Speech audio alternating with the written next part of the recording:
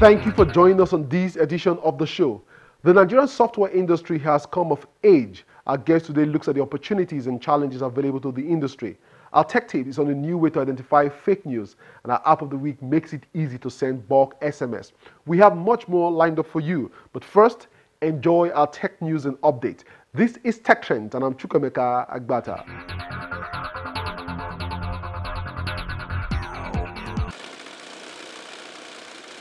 The idea of a cashless society is turning into a reality in Africa. However, it's not an easy process.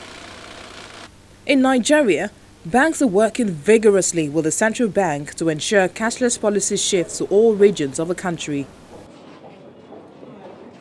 In 2013, the Central Bank of Nigeria activated a check truncation platform that allows settlement cycle of checks to be reduced to a day as against three days, with the sole aim of ensuring that checks are cleared within 24 hours.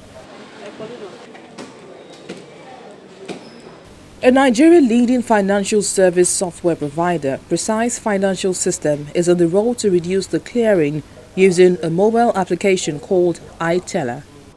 According to the co-developer of the app, Samuel Yomere, the application will help you send in your checks from the comfort of your home or office. So let's look at it this way.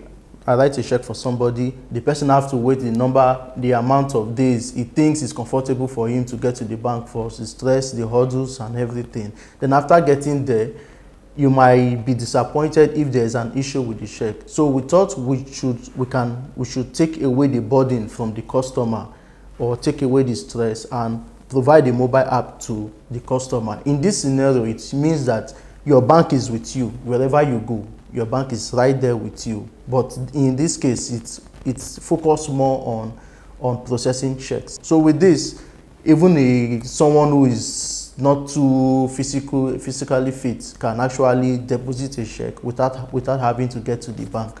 The application comes with an inbuilt scanner using the mobile device camera to capture checks, which is then sent to the bank via the app.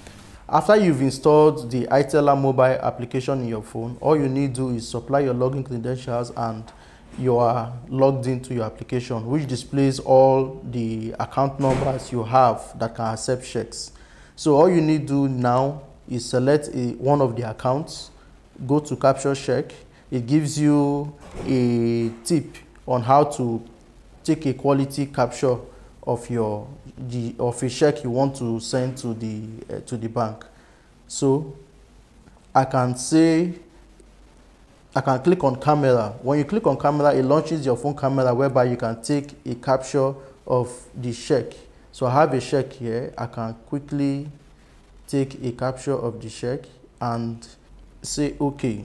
So it brings the image of the check into the application. It also gives you the ability for you to crop, rotate, flip, or swap the images of your check. After that, you can accept the check you've, you've taken a capture of. You can also pick a check that is already stored in your mobile phone's memory by selecting the upload button. You preview whatever you've done and when you take this, the your check capture, try and take it in, in an environment where there is enough lighting. Though you can see one or two information on how to capture check in the help page of the application. So after this, all you need to do is submit this check and it goes to the bank for processing and truncation. Samuel adds that the application is built on an end-to-end -end encryption system, a process that helps prevent potential hackers from getting into your information. First thing we did when we when we started developing this application is looking at all form of security threats, all form of acts, acts from different users or different you know potential hackers or potential threats. So with that, we use a secured layer in our application.